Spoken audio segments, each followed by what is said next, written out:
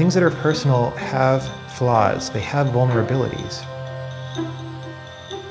If you don't see a vulnerability in somebody, you're probably not relating with them on a very personal level. So it's the same with a game design.